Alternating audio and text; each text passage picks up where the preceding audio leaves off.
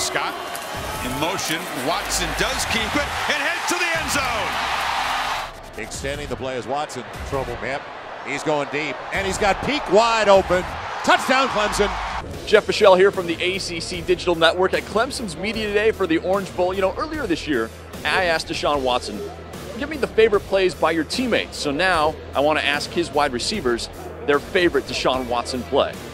South Carolina game when he did the, um, I guess when he reached out for the ball, like he was like a five yard, it was like a five yard leap. So I'm like, I didn't know he got like leaps like that. His body like up in the air, almost straight up up in the air. Touchdown, Watson! When he jumped over the guy at NC State, he just spread his legs, jumped right over him. It was pretty amazing.